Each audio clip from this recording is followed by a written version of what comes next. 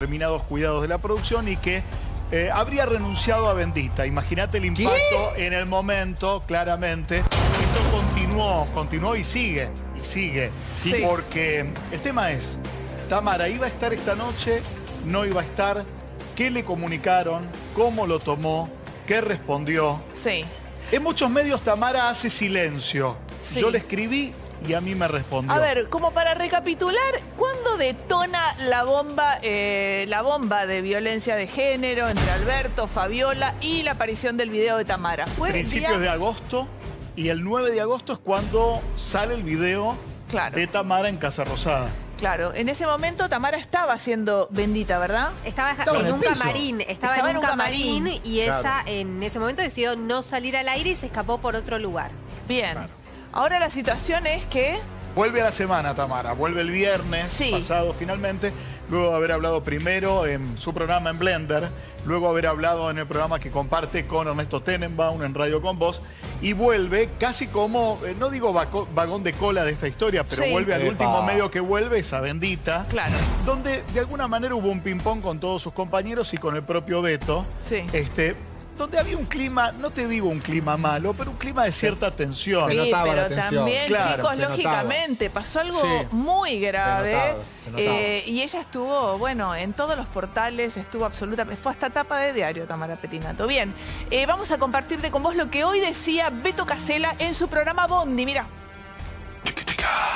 En ese momento yo dije, el día que vuelve, como toma de posición, la gente que me está diciendo, la tenés que echar, yo no tengo argumento para despedirla, así que lo lamento, pero no, no- no la puedo despedir. Además, yo si despido a una persona, a mí me queda en la conciencia toda la vida. Da la sensación que quizás va a depender más de cómo se... Pero es una cuestión clara. Bueno. O ética, si quieres. Ahora, después está la otra.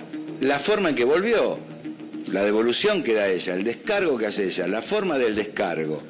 Yo percibo durante el mismo viernes a la noche y sobre todo el fin de semana que hay irritación. La palabra es irritación. Por lo cual, hoy temprano, eh, le digo a mi productor ejecutivo, me parece que Tamara debería tomarse unos días. La verdad. O sea, vos le decís al productor ejecutivo, Leo, Sí.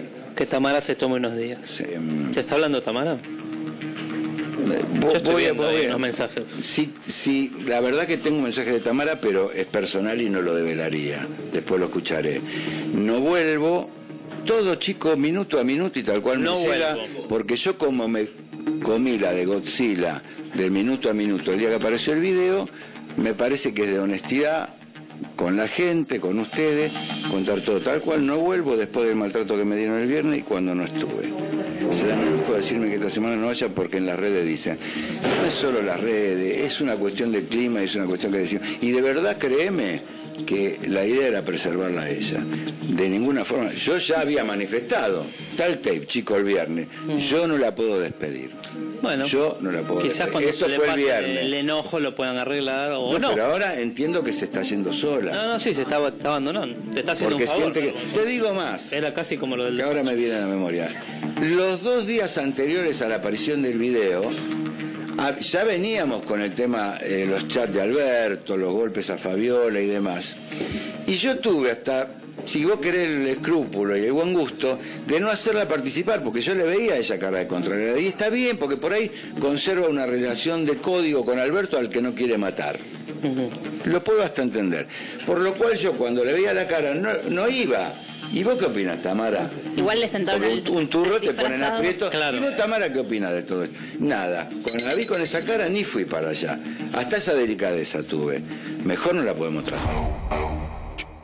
Ah, bien, bien. Bueno, Bueno, muy Beto bien. habla de una bien. palabra que subrayemos, subrayemos la de acá más que se llama clima. Irritación Clima, también. También Sí, sí, sí, irritación. sí. ¿Por qué? Porque el primer día cuando sale el video y Tamara se queda en el camarín y luego se va del canal, dice al final algo que pasa casi desapercibido. A mí me pareció fuerte escucharlo, porque Beto es verdaderamente, es un de camarada, es el número Sí. uno, pelea la guita de sus panelistas, Sí. va y pone la cara, pone el cuerpo. Si pasa una situación complicada, él te ayuda como a, a moldearla para que salgas bien de allí. Bien.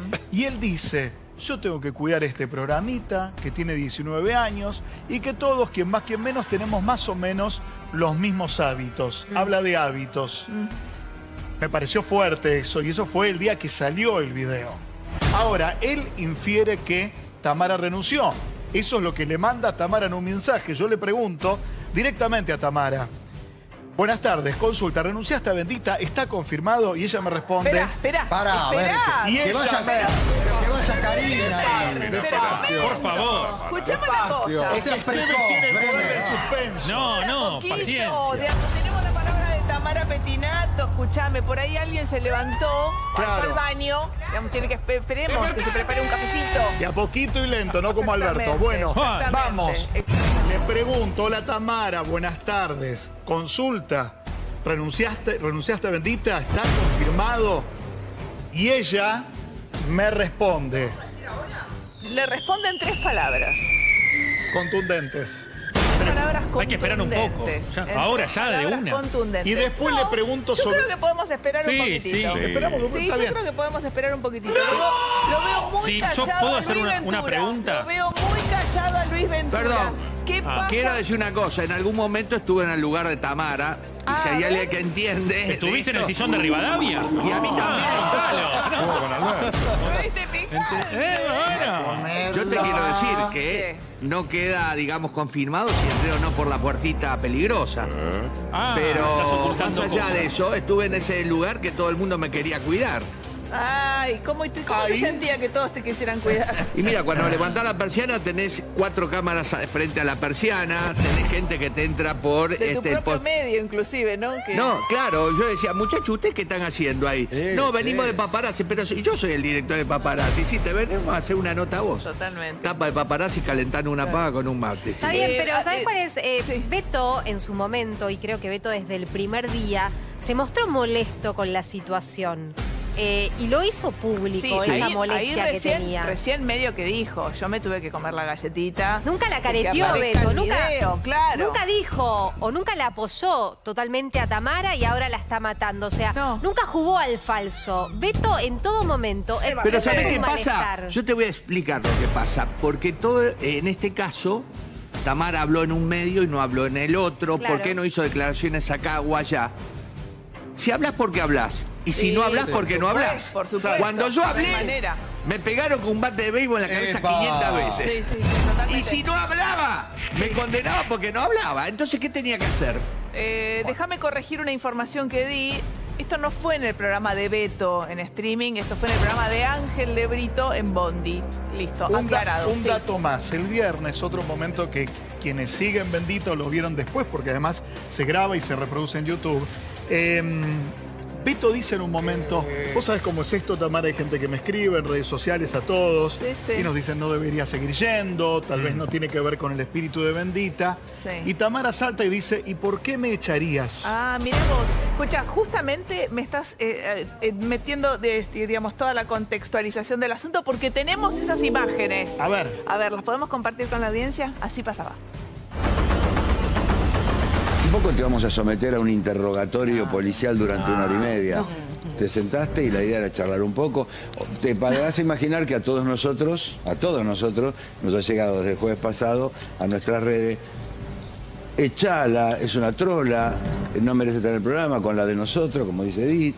Bánquenla, loco, es una mina que no hizo nada ilegal, de todo. Sí. Eh, eh, los que quieren que la eche va- van a tener que esperar un tiempito, porque por lo menos si de mí depende... Dice una este, semana, Leo, acá. Esperen una semana. No, no, si lo ameritara y si porque mañana puede ocurrir la desgracia que cualquiera de nosotros cometa algo muy fulero, se verá, me puede pasar a mí, le puede pasar a, a cualquiera de los que estamos acá, se verá. Nadie tiene la vida eterna acá comprada profesionalmente. Eh, nosotros estamos evaluando que por supuesto, y yo además lo ha dicho en móviles, yo no, a mí no podría dejar sin trabajo a alguien, por lo menos por esto. Pero además, ¿por qué? ¿Mm? ¿Por qué me dejarían sin trabajo? Por haber Porque ido a alguien comer a la podría decir que, que- que- que lastima la imagen del programa, que es un programa familiar, que, que pues bueno, que mucha gente te dice no los voy a ver más, lo cual a mí, sinceramente, con todo cariño, gracias por vernos, habernos visto 19 años. Pero no sé, este, no. A mí me lo preguntaban, che, este, No, sí, no. con las redes sociales la gente opina, te dice a mí que, que, eh, yo también tomé una postura, eh, muchos me preguntaban por qué hiciste eso, porque lo- era lo que sentía, porque me parece que la estaba pasando mal, Tamara, eh, porque no me gustó verte en la portada del diario El Cadín en ese contexto. Eh, y yo tomé una postura y me decían por qué y te acusan. Y yo, bueno, eh, yo entiendo y, intercambié muchos mensajes con muchas personas explicando algunas de las razones que yo entiendo lo que quisiste decir con respecto al villano. Hoy hay una causa de corrupción y hay una causa por violencia de género y, vos eras como un- una, actriz de reparto en todo este contexto. Entonces me parecía como bastante injusto todo el escarnio mediático que se estaba dando. Me da bronca algunas cosas porque le diste tela para, le diste tela para cortar a algunos personajes de la De- tele que son medio nefastos. y no Después gustan. tenés gente que está enojada genuinamente porque lo que vio no le gustó, le pareció, eh, lo relajó. Este, gente que la estaba esperando porque por ahí alguna vez habló. Ella ha sido y es una eh, Picante. columnista picantona. Claro. Se mezcla lo ideológico, la vinculan con el universo K y obviamente mucha gente no se lo va a perdonar. Todo es entendible, ¿eh? no hay que enojarse con nadie ni ofenderse con nadie, todo es entendible. Igual está bueno bajar un cambio, y, y bajar un cambio todos, de, de- de agresión y de, y de- y de enojo y de ira y de descuartizar gente, chicos, no está bueno lo que pasa eso. es que. No está eh, bueno. Lo que pasa es que el presidente actual también se metió en el tema. Y, Mm. Sí, bueno, él, él- él es especial para hacer ese tipo de cosas. y bueno, pero si se mete el presidente actual y me dice prostituta, y toda la gente que lo sigue y lo vota me empieza a decir lo mismo y genera un odio. Igual yo no estoy leyendo redes sociales y en la calle no me sucede, al contrario, se me acercó toda gente a decirme que no es justo lo que me están haciendo, no se me acercó nadie a decirme lo que te dicen en redes. Mm. Pero bueno, el, el odio y, di- digo, todo esto viene desde muy arriba también. Claro. Y hay otras cosas Me ha detrás. escrito gente que se ofrece para ocupar la silla de Tamara con la mejor fe, profesionales, chicos, chicas, que dicen, mirá que yo soy bueno, yo entiendo todo, entiendo todo. Pero esa silla está ahí, no sé cuántas veces venís por semana, Tamara, vos. Tres, cuatro. Bueno, las veces que venga va a estar. Este, igual va- Bien, muy bien. Entonces, eh, esa incomodidad, Se ese la notaba, clima, eh, se la notaba muy incómoda, hasta con los ojos, te diría, con lágrimas. Yo igual eh, festejo un poco eh, las reflexiones de Tamara. A ver. Cuando ella dice, es verdad, hay gente que la trató de prostituta y hay mucha gente que se sube a ese bondi y refleja exactamente lo mismo, simplemente por acompañar una ideología o, o por lo que sea. Eh, pero fíjate la reflexión que hace Tamara, porque calculo que con esto que ella le toca pasar en primera persona, se debe haber dado cuenta que a veces con el humor que hace Tamara también debe haber lastimado a varias mujeres. Ajá. Porque si haces archivo, lamentablemente Tamara también ha tratado así a otras mujeres. Sí. Entonces celebro esta reflexión de Tamara. ¿Alguna en particular? ¿Alguna famosa? Y bueno, el otro día eh, se hizo pública? viral una, por ejemplo, con la chica Gancedo de Gran Hermano. Rocío Gancedo. Rocío Gancedo. Rocío Gancedo, donde eh, Rocío estaba contando que ingresaba a la política y Tamara le dice con quién te acostaste. Sí. Entonces, por eso digo, viste que a veces uno está en una edad donde no llega a reflexionar o se piensa que con el humor no eriza a las personas. No, por supuesto que sí. Eh, bueno. Y me parece que esta reflexión de Tamara es válida y quizás te das cuenta de que ya esas preguntas no van. Ahora, y no es humor ahora, tampoco. eso, coincido con vos, las palabras son un acto de habla, las palabras pueden acompañar o pueden herir o pueden matar.